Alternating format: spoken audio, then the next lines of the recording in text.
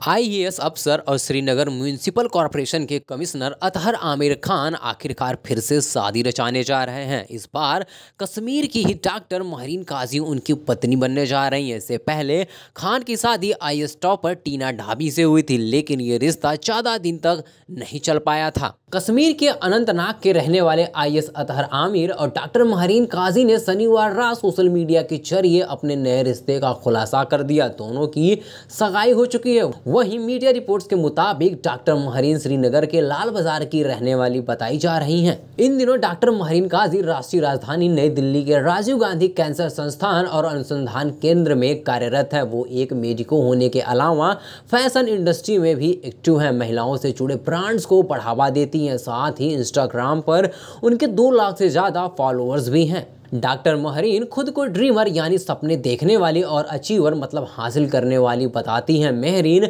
Medicine में MD हैं और कथित तौर पर वो काफ़ी समय से अतहर को डेट कर रही हैं। डॉक्टर महरीन ने पंजाब के फरीदकोट, दिल्ली की अंबेडकर यूनिवर्सिटी समेत यूके और जर्मनी से पढ़ाई की है। वहीं अब माना जा रहा है कि सगाई के बाद ये जोड़ा इस साल अक्टूबर में शादी कर सकता है। सगाई की पुष्टि खान ने शनिवार देर रात अपने फेसबुक पर की। वहीं उनकी मंगेतर डॉक्टर मेहरीन काजी ने भी अपने रिश्ते को इंस्टाग्राम पर ज़ाहिर किया। वैसे बता दें कि अब तक अतहर और महरीन की शादी की तारीख का ऐलान नहीं हुआ है। इससे पहले साल 2015 के यूपीएससी एग्ज़ाम के सेकेंड टॉपर अतहर आमिर खान ने उसी साल के यूपीएससी टॉपर टीना डाबी से साल 2018 में शादी कर ली थी। लेकिन दो साल बाद ही उन दोनों ने तलाक लेने का फैसला कर लिया था। अतहर से अलग होने के बाद टीना ने हाल ही में आई प्रदीप गवांडे से दूसरी शादी कर ली है और अब अतहर भी दूसरी शादी करने जा रहे हैं। डेस्क रिपोर्ट डे के न्यूज़।